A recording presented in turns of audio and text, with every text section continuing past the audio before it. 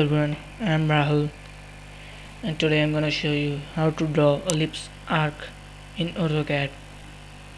First of all go here to ellipse arc. You can go to draw and go to ellipse then select the arc or you can simply type the ellipse arc in the command bar. Now select select this ellipse arc.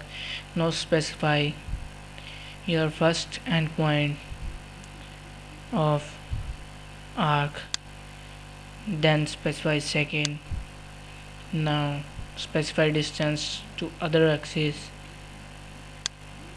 now specify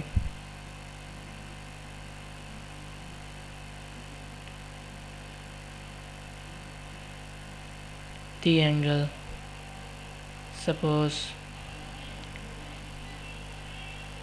first angle is 45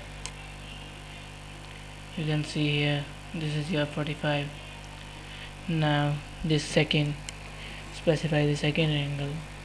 Suppose 180 so the arc has been drawn. You can see here. And if you like my video please do subscribe and keep visiting my channel. Thanks. Take care